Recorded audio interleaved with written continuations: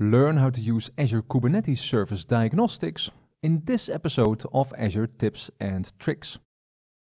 A solution that runs inside a Kubernetes cluster can quickly become complex. Azure Kubernetes Diagnostics can help you to investigate, diagnose and resolve issues in your cluster quickly.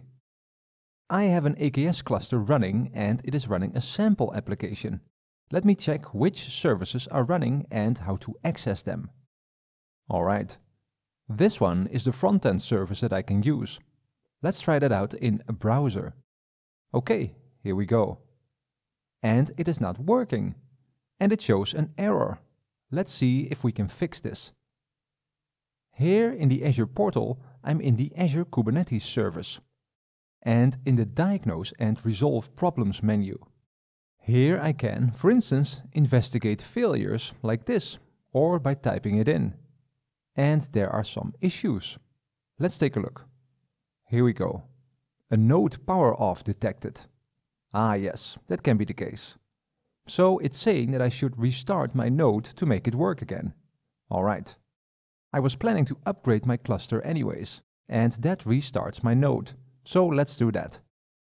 Here it is. I'll pick the latest version, OK, and save. This will take a while, in the meantime, let's go back. We just looked at failures, but the diagnostics feature can do a lot more. You can describe your issue here and it will investigate it.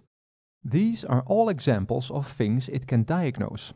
There are lots of them, like the monitoring and logging one. Let's just see. I don't expect any issues with this. And there aren't. Good. Alright, let's see if the service is working again. I'll use the IP address from before. And yep, it works now. Cool. The Azure Kubernetes Service Diagnostics helped me to quickly diagnose my problem and told me exactly how to resolve it. Go and check it out.